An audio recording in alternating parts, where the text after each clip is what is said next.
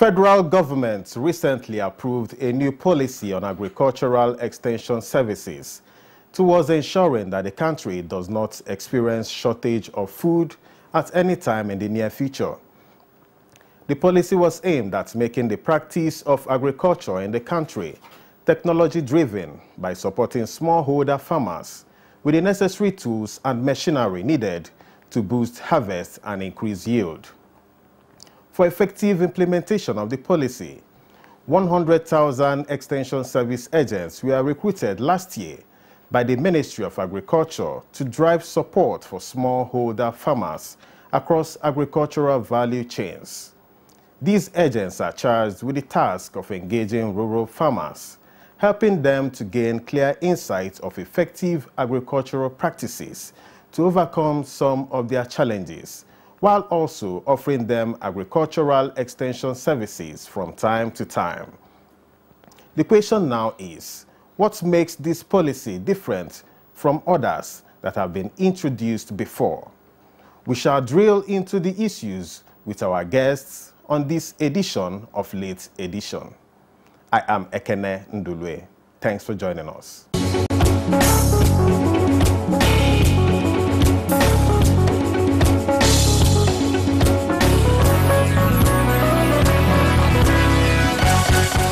Professor Mohamed Kuta Yahaya is a graduate of the University of Calabar. He obtained his master's and doctorate, doctoral degrees in agricultural extension from the University of Ibadan. He started his university teaching and research career at the University of Ibadan as an assistant lecturer in 1995 and rose through the ranks to become a professor of Agricultural Extension and Development Communication at the University of Ibadan, Nigeria in 2008. Professor Yahaya is an author of over 120 scholarly publications in reputable national and international journals.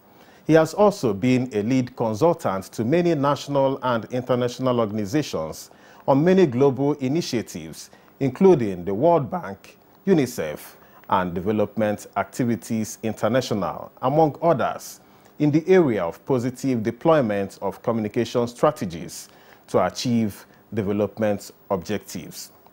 Professor Yahaya is a member of many learned and professional bodies, particularly the International Association for Media and Communication Research, Agricultural Extension Society of Nigeria, Nigeria Forum for Agricultural Advisory Services and Rural Sociological Association of Nigeria. Dr. Oyeshola Oyebanji holds a degree of Bachelor of Science in Agriculture from the University of Ife and Doctor of Philosophy, Imperial College of Science, Technology and Medicine, University of London. He has over 40 years experience in teaching research, extension, and rural institution development, agricultural project formulation, appraisal, supervision, and impact assessment. He has undertaken consultancies in all areas of agriculture and rural development cycle. In the course of his consultancy services as a development expert, he had acquired extensive experience in project coordination, entrepreneurship, develop, entrepreneurship development, rural infrastructure, livestock development, crop intensification, among others. You are welcome to the program. Sir. It's a pleasure to join you on this late edition. Yes, thank you. Um, our focus of discussion today is on the new agricultural uh, policy on uh, extension services. Okay, one will wonder, why are we talking about a new policy on extension services at this point in our nation? Professor uh, Yahaya, I would like to start with you. What is um, eliciting uh, the need to have this new policy in extension services? Well, thank you very much. Uh, first and foremost, I want to bring to your notice that uh, since 1893, when agriculture started in Nigeria, Nigeria has never had an agricultural extension policy.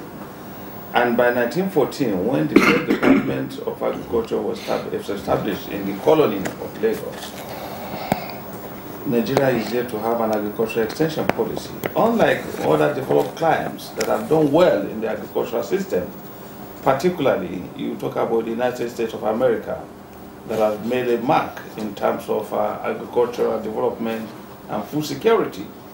They started with uh, an, an, extension policy in 1914, which culminated into the uh, Smith-Lever uh, uh, Act that established the land grants for the universities and uh, extension well entrenched. And you can see what has happened to uh, agriculture in the US today is a function of that. And other countries that have done well, even our African continent, when you drive home and you come to Zimbabwe, they have had an agricultural extension policy as far back as uh, uh, 2000. And um, in, in, in Malawi in 2001, Botswana, South Africa, all other countries that are doing well in the agriculture, especially Uganda, that had a policy in 2016. And uh, in 2021, of course, Uganda hosted the whole of Africa Extension Week. And we, Nigeria was called upon to host the next edition of the Agricultural Extension Week, which is coming up in November 2023. So for all of us in the agricultural extension system, we are beginning to get disturbed that how can you hold the whole of Africa without an agricultural extension policy? So we are very gratified that uh, President Muhammad Buhari's government has broken the jinx of over you know, uh, 130 years of lack of an extension policy to have come up with a policy that is all encompassing, that is going to engender um, gender mainstreaming, sustainability, and all the other missing variables in the previous effort because the desire for an extension policy was that it should be a standalone policy, even when the nations have their own agricultural policy. Because the, the mistake we have made over the past, in the past is that, and I'm happy you have brought into the studio an experienced hand, a mentor to all of us, and I remember his role when a federal agriculture uh, coordinating unit was established in Ibadan with late Professor Mijindadi I was a postgraduate student working and learning from them. Professor Oyebanji has been a, an institution in that directive. You realize that the, the, the, the idea of making extension an appendage, even in scholarship and uh, manpower development, has always been the problem. The first faculty of agriculture in the Nigerian university system was at the University of Ibadan in 1948, and then uh, subsequently, the first Department of Agricultural Extension in the Nigerian university system was at the University of Ibadan in 1975. Before, it used to be Agricultural Economics and Extension. So that means extension was always a, a second-hand bag. But now, it's a full-fledged mother that is providing services in terms of manpower development across the entire agricultural value chain, dealing with human beings. And then the unique aspect of this is that the mistake we make in agricultural policy is that you have different entities in agriculture. You talk about agronomy dealing with crop, soil, and other studies. You talk about crop protection dealing with uh, entomologists and other very uh, experts in that area. You talk about animal science dealing with animals, both ruminant and small ruminants, including cattle, sheep, goats, and poultry. Then you now talk about managing land, I mean resources of production, land, you know, labor and capital, which agricultural economics derive expertise. But the only unit in agriculture, you also have forestry, wildlife, ecotourism, yes. and co. But the one that deals with human beings is agricultural extension. So, and then farming is an occupation that is human driven, where you talk about human beings involved. So you're talking about somebody who can deal with the psychology of human beings he's dealing with, who understand the rural dynamics, who understand the sociological uh, way of dealing with rural people, because agriculture predominantly is a, is a rural occupation. Because 75% of those who are in, in, involved in the agricultural system are in, in the rural areas. So you need somebody who understands their language, who understands how to deal with it, their psychology and so on. And that's why, ultimately, the essence of communication has come in. How to even communicate with the end user. Taking the variables into consideration. You are talking about agricultural research in various aspects of agriculture. And then translating it, interpreting it into the language of the end users. And that is why we talk about KAP analysis in agricultural extension. Because agricultural extension is dealing with K, knowledge, Okay. attitude, and practices. So any attempt for you to deal with people who don't have the basic knowledge of message that you want to deliver is going to create a gap. And in the process, you influence their knowledge and their attitude, and in the process, they begin to change. And that's why you have what we call adoption process in extension. In adoption process, you have a, a, a, a, graph which shows that some people are early adopters, some people are late adopters, some people are laggards. They wait and see the damage that has happened to you before they take a decision. If it serves well, they'll say, okay, we're going to take it. So you have to recognize this, this different segment of the society and the human behavior. Then you now talk about on the overall, the adoption of your technologies, which is going to change from their maybe primitive practices or their indigenous practices that they can match with the modern practices to enhance their production. So extension is a whole gamut of, you know, institutional development. And therefore this policy is to address all the gaps because of the funding lacuna that has affected extension.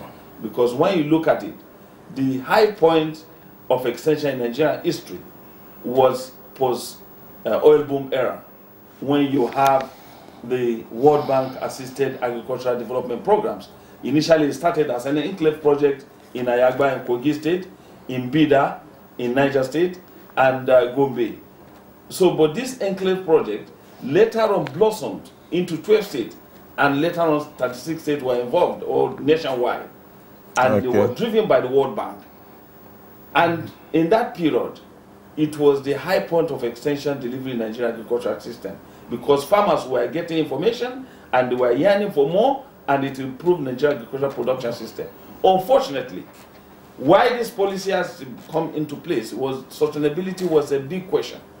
Immediately World Bank withdrew its funding, there was the total collapse of extension system.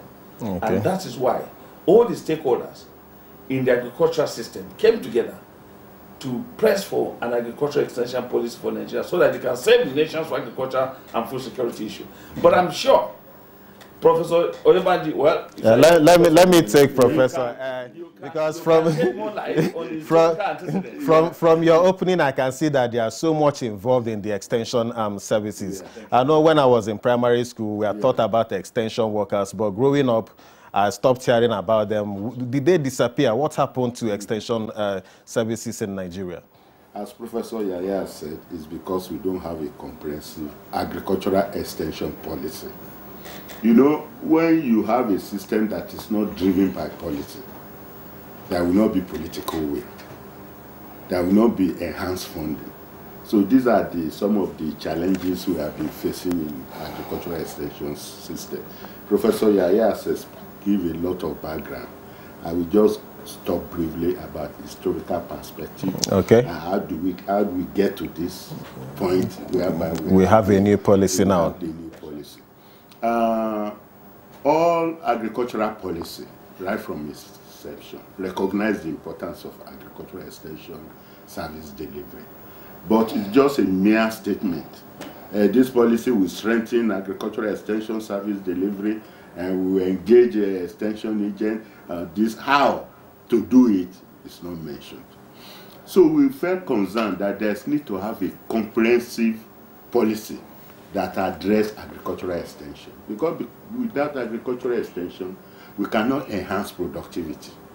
We cannot face some of the emerging issues that is confronting Nigeria now. Climate change, farmer-elders conflict. It's, it's because of lack of comprehensive agricultural extension policy. Uh, the journey started a long time ago.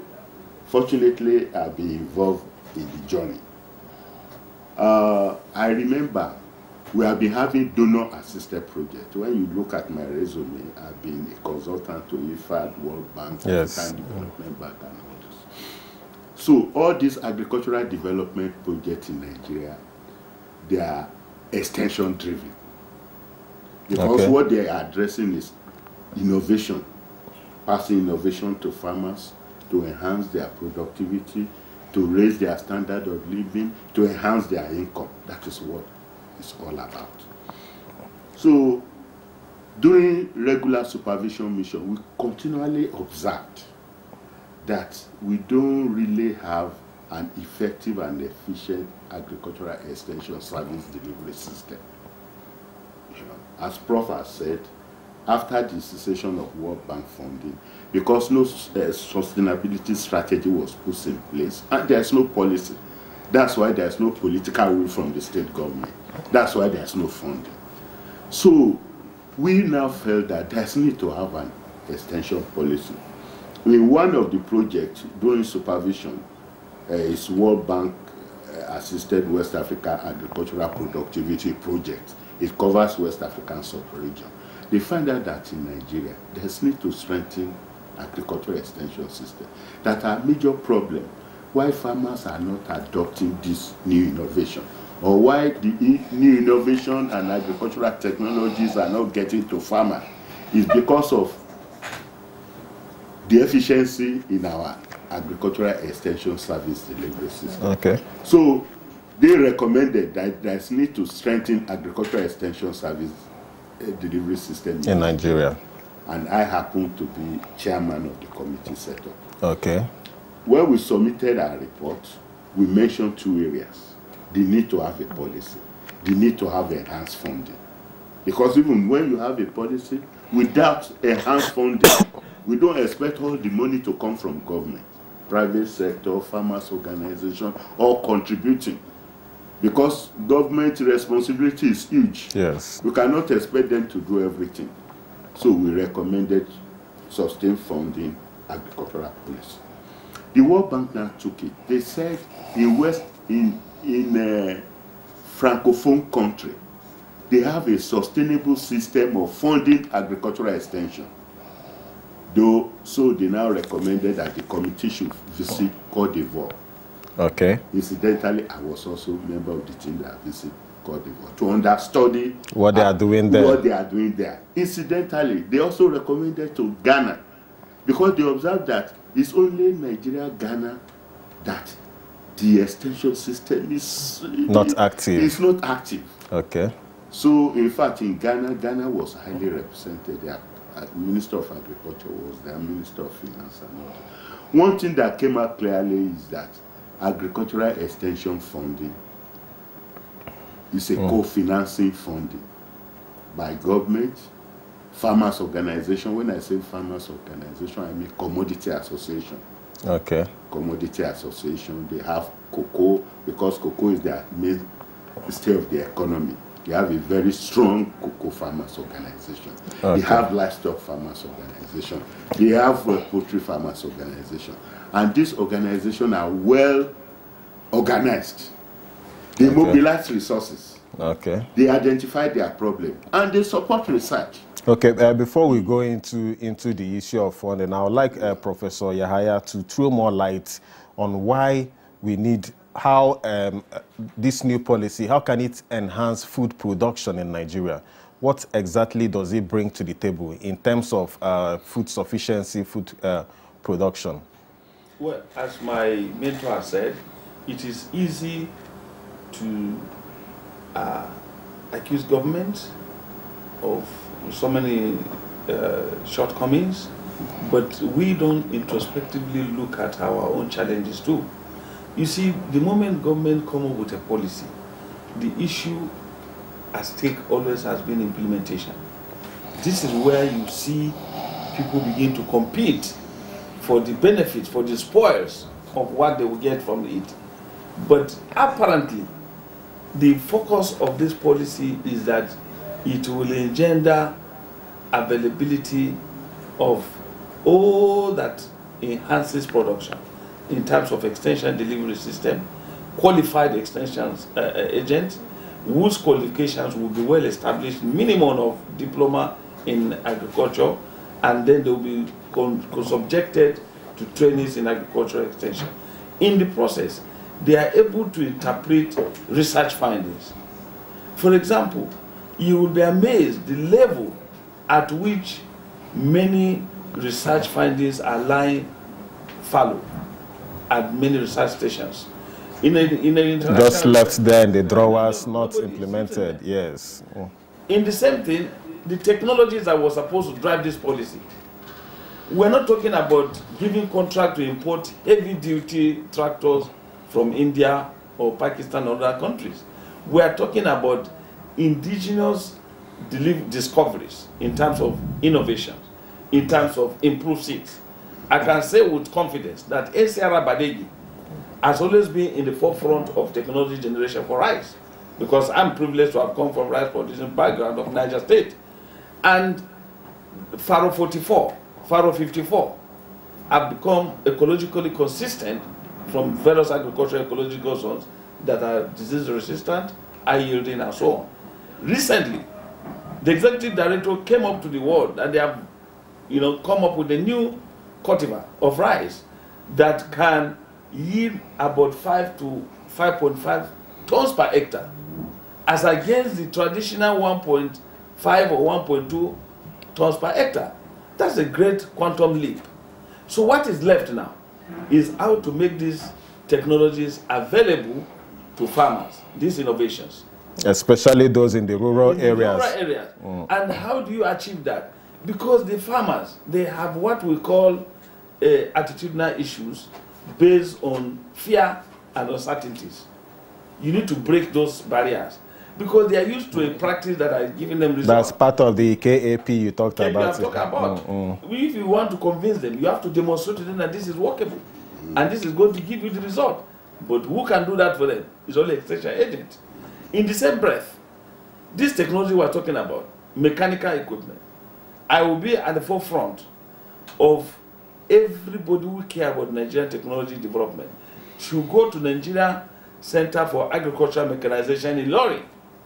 They have developed small prototype equipment that can ease product, I mean, cultivation system, harvesting system, and so on, but they're lying fallow.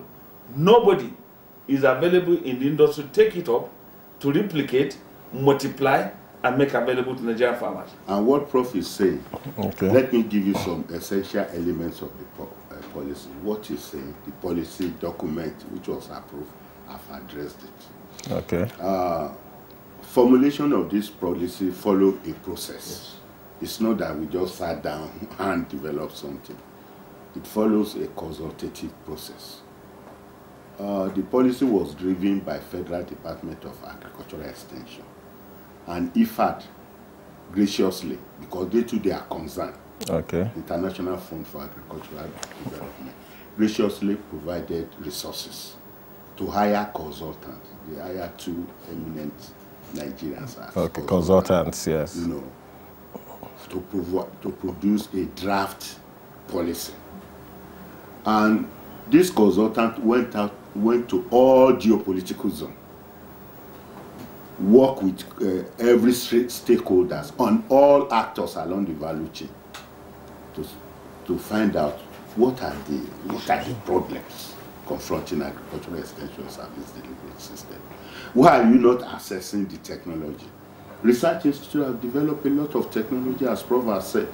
Why are we not assessing it? This, it was quite uh, participatory and inclusive. Okay. Based on the outcome, they came up with a draft. And the draft was also subjected to national stakeholder workshop. Let everybody, other people see, private sector, public sector, all this. They also make their own contribution before the final draft now came in. Then when the final draft came in, the ministry felt that it has to be put in a kind of policy framework Okay. you know, so as to guide the government. Because when they want to legislate, there must be a framework, you know, To work with. to work with. Yes. So we came back. I was also involved in all the process. We came back and also identify the overall objective of the policy as well as the specific objective. From the specific objective, we identify 11 specific objectives. Okay. If for each of the objectives, we made a policy statement and strategy. Can you briefly tell us um, maybe a few of the objectives? Uh, the, the, of the objective is strengthen the linkage between research, extension, farmer, input, and markets. Okay. Another policy uh, statement is human resources development. That is, there is need to develop the capacity of all the extension agents. We need to give them enabling tools. You know, there's another objective on uh, youth and women empowerment. So that's gender mainstreaming. Gender, Okay. gender mainstreaming. The objective also has uh, address all the emerging issues like Especially climate, food. ada- like climate, Climate change, yes. climate adaptation, uh, conflict resolution, because all these are embraced in agriculture and all this. So these are the the- these are the policy statement made, and then strategy for enhanced funding. We were we were very impressed about how the TETFund operates. That's right. Okay. We felt that there should be some source of funding for it to, to, to have a section to, to be able to fund agricultural extension service. Okay. It will be contribution from everybody and all these things. So these are some of the uh, these are some of Objecti- the objectives, yes. You know, Okay. because we believe that from some of these objectives, so certain aspect of it can be pulled out and legislation passed on it, All right. especially with respect to enhanced funding. That is very important, especially with respect to regarding extension, setting up a professional body. Okay. Because everybody regard extension is just like the Quran. You cannot go and practice.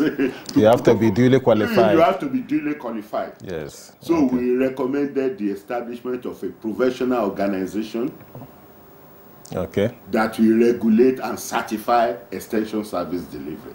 Okay. Because public sector carry out extension service, Right. private sector carry out, NGO carry out, but the messages can be distorted. You know? But when we have a professional body, there will be a clearing house to harmonize all the uh, technology and innovations Yes. and some of them are ecologically specific. You Okay. get what I mean? Yes. What I the, the, the, the requirement for rice production in southwest may be different from in north central, may be different from the Northeast. northeast, Northeast. southeast, and all these things. Okay. So we want an harmonized agricultural extension, technology, and innovation that will Okay. be accessible to farmers. Okay, um, uh, Prof, um, would like to know, we understand that this uh, policy has been approved by the federal government. At what stage are you uh, with the policy right now? Well, the, the good news is that uh, on the 12th of uh, April, the Federal Executive Council and uh, the current administration of President Muhammad Buhari uh, took the memo by the Minister of Agriculture, uh, Dr. Uh, Mahmouda, who presented it at the Federal Executive Council.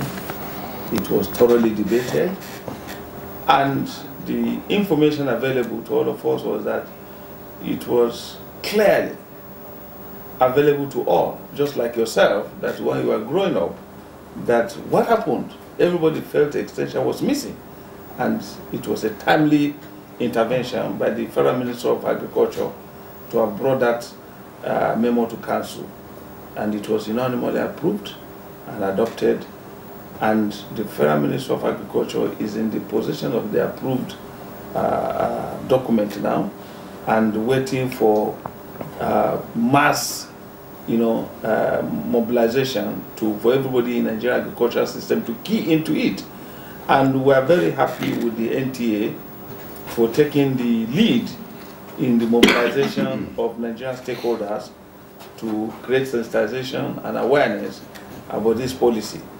And I'm glad to report that uh, in no distant time there will be more stakeholders consultation in terms of uh, excuse me in terms of uh, you know uh, access to information and the content.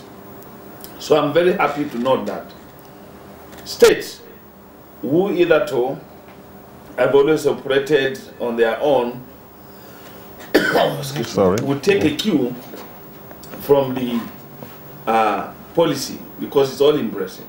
It has provision for the collaboration between the federal, state and local governments. We have been able to come up with an institutional framework for the operation and management of agricultural extension service delivery system in Nigeria, both at the federal level, state level, local government level, as well as the community level.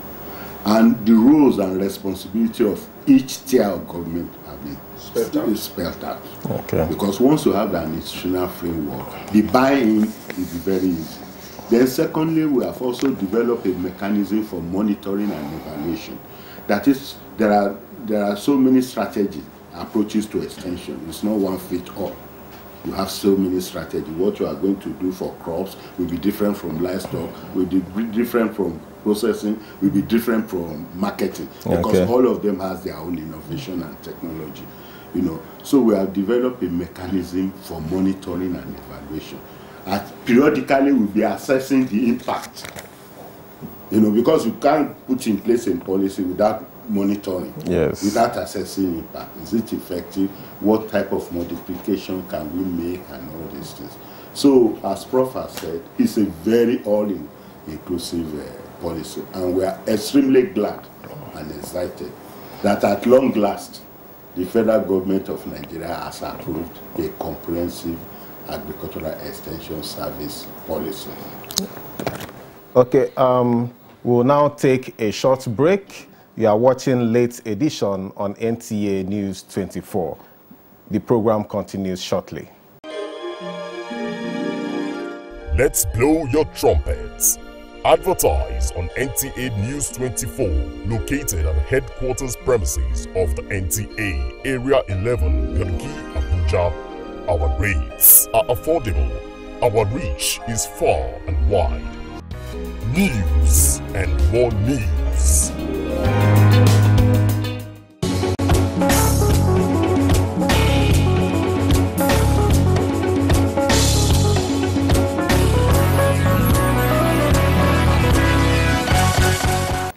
If you are just joining us, the program is Late Edition, and we have been discussing the new agric extension policy, food security, and agric production.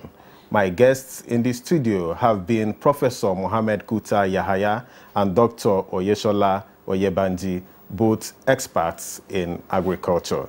All right, um, Doc, Yeah. let's uh, continue from where we stopped. You know, we've always heard about policies, policies, policies, with the problem being implementation. So many policies in Nigeria, like you mentioned earlier. What is going to happen to this one that will be different from all the other policies that we, we've had in the past?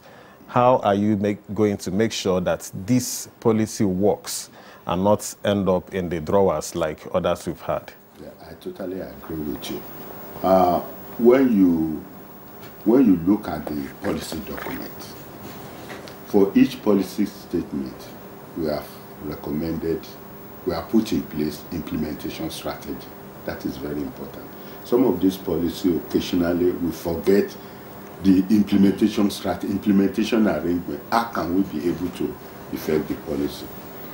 Then, not only that, this policy has been backed up by institutional framework. You know, I mentioned Yes, it institutional framework. At the federal level, there's going to be a committee, you know, that is responsible for overseeing the operation and management of extension, both at the federal level, at the state level, at the local government level, and at the community level. And we have recommended that in order to have political will, the state gov- governors at the state They level, will need to they are key the most in. critical. Yes. You know, they are the one having the farmers.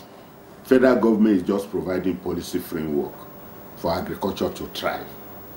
You know, so once there's political will from government, then the implementation will be very easy. So we Okay. recognize that there should be an oversight committee whereby they will approve the work plan and budget for agricultural extension service delivery system at the state level. And at the state level, we also have, each state has its own agricultural extension service delivery agency. And this is agricultural development projects, which Prof has mentioned. Yes. It was set up by the, uh, by the World Bank, and it's the, all of them, they, they are set up and they, they, they, they are uh, they are legislated, they, they are backed up by legislation, so they are functional. They are, they are an entity recognized by government. So they are the essential service delivery system. So they are supposed, they will work in conjunction with the ministry to provide agricultural extension service delivery work plan. What type of support are going to give, they are going to give to farmers? Okay. what are the problems which are the problems that are supposed to be focused upon and we also expect that when they are doing their monitoring they should be able to bring feedback because farmers will definitely have problems you cannot solve all the farmers problem new problem continue to emerge so this problem will not be That's why there's need for monitoring and yeah, evaluation. evaluation. Yes. So this problem cannot be feed back to the research institute. You know, the institutional framework also involve both the public, private sector, research institute, NGO. And Okay. all of them to are members of this committee. So once you have an implementation committee, I can assure you the, the, the, the, the sustainability of that policy is assured. But in most cases, you don't have implementation committee. And that implementation committee must be functional. You know, functionality is also To bridge that important. gap. Yeah, to bridge that gap. Okay. And we have saddled the responsibility of ensuring this uh, regular meeting to the ADP, Agricultural Development Project, at the state level, because they are the secretariat. They are the one who goes around, collate and prepare the work plan and budget. So government will approve it. It will go into their annual budget and all these things. Then, when we are also talking about enhanced funding at the national level, you know, I told you that we recommended having agricultural extension uh, trust fund. Although people are feeling that, well, why can't we have only one fund for agriculture rather Okay. than having a separate fund for extension? But we are saying that even if you don't have a separate trust fund for extension, under the umbrella of agricultural Funding. uh, funding, agricultural funding, we can have a section Dedicated. for, dedicated to extension Okay. and still establish this trust fund. It You has get been me? established. Okay. You know, so law, you know. so all the resources provided for agricultural extension will go into that trust fund, and we have recommended that they should set up a, a board of trustee to manage that fund, and we have also recommended the source of funding. You know, so this one will take care of national issue, just like educational trust fund. It take care of issues that confront agricultural development and educational development and all these things. So we have put in place that one. All right. Okay, uh, Prof, uh, let's come back to you. We understand that um, as at last year, about a hundred thousand extension agents were recruited. By the Federal Ministry of Agriculture. Okay, under what are, is it part of the the the policy? Is it part, where are they now? How is the spread? Well, the you know when the president came into office in 2015, Dr. Mbaji is aware. He expressed a lot of concern about the, the state of extension in Nigeria. That uh, grew up to understand extension and to relate and to feel the impulse of the activities of people like Babalari, the popular radio program, and the activities of NRLS ABU Zaria that provide services in terms of both uh, uh, media and uh, pamphlets. In fact, those pamphlets were very popular for what we call Ajami, where you have the written in uh, Arabic uh, uh, content, but the, the, interpretation is in Hausa. Okay. So when you are reading it, you can, those who are not literate in the Western form of education will use their Quranic knowledge or exposure To understand, and to understand. So it's just like the same thing in Nigerian currency, where you see the right inscription, 20 naira, naira, I'm seeing naira ashirin. 50 naira, naira I'm seeing because the inscription is in Ajami. Okay. many people who don't understand would think is uh, Islamic is is, Mm. is a language of communication. So we believe that uh, uh, this extension agent is out of the president's desire to address unemployment and to deploy the young people and direct their energies towards agriculture to provide extension services.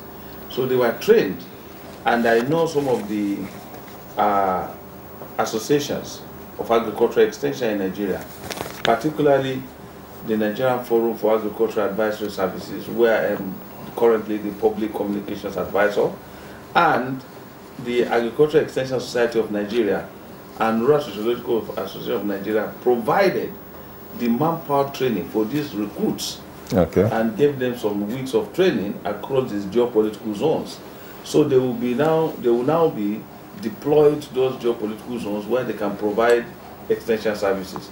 So I'm very comfortable that this will add to the number of existing extension agents. And before you know it, those who were recruited by the World Bank in the 80s, majority of them have retired. Some of them, so you see the depth of extension agents in Nigeria is a serious problem. The FAO recommendation is one extension agent to 800 uh, farmers, but what we have currently is that we are talking about one extension agent to 25,000 farmers, which is very, very cumbersome and tedious for one person to handle. So we know that with this number injected, it will increase the service delivery by extension But, but, but still, there is still a huge shortfall, a huge even with the shortfall. 100,000 uh, In- in- in- recruitments. In, fact, my own advocacy is that the incoming government should look inward. Instead of young people aspiring to run away from Nigeria, they, many of them graduate. They can be converted. Uh, but, but talking about that, you know that many young people these days, we have our population, about 60% of Nigeria's population are people under the age of 30. yeah. But many are not interested in agriculture because it's not attractive. You know, how can government make it attractive? Does this policy address that issue? that is where technology is going to help because we cannot make progress and make attract, uh, agriculture attractive through hoes and cutlasses. It's unacceptable. It's, it's, it's primitive. It's labor intensive. Even in our universities where we organize practical for students, they still operate based on hoe and cutlasses. Some of us are very, very averse to that kind of uh, practice. We are talking about bringing small technologies where young people can even have a feel about these technologies themselves.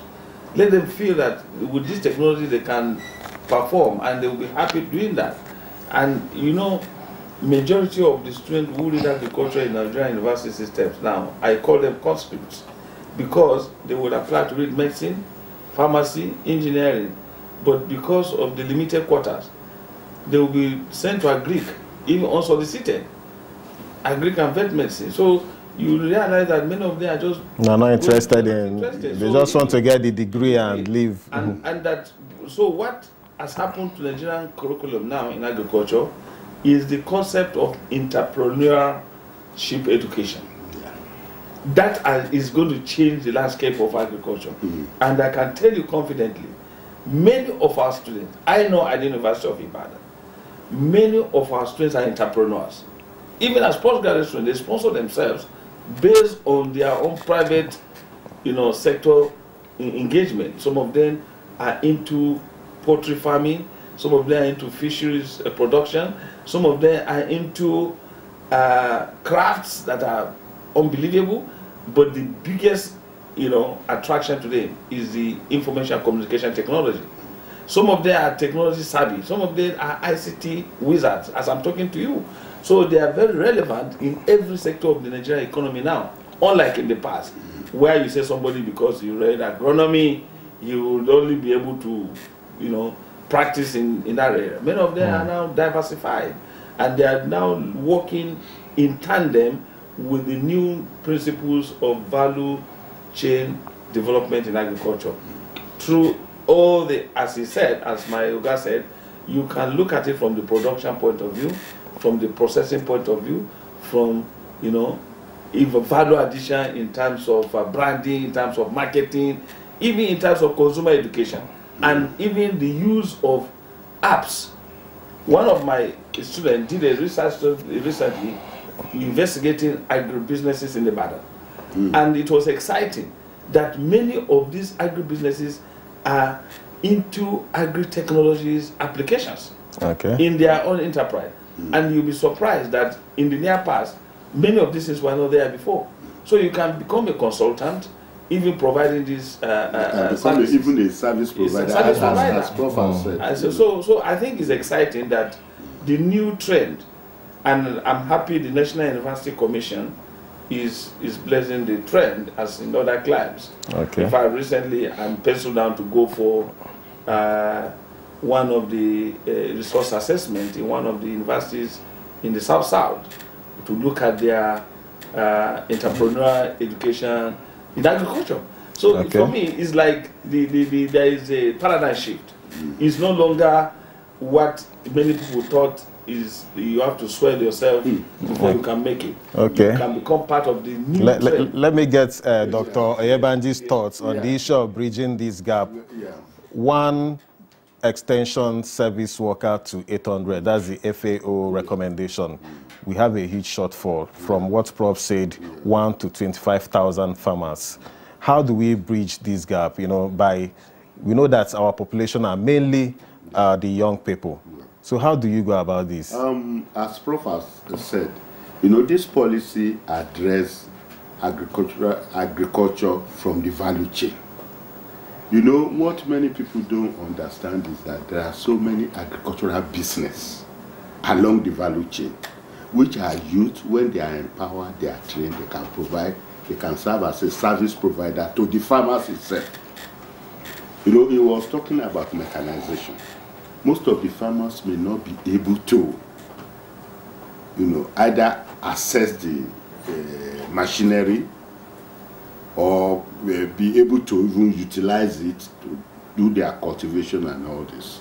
In some of the projects which we have supervised, they have been training youths on agri-business enterprises along the production segment, processing segment, marketing segment. When I say production segment, you have those people who go into core production. You have those people who go to service provider, providing mechanization services, using having their own machinery, like tractor ironing services. Youth can engage on it. We are training you to engage on it. Some they can also provide pest control services. You know, we don't want farmers to do manual uh, weed uh, control and all these things.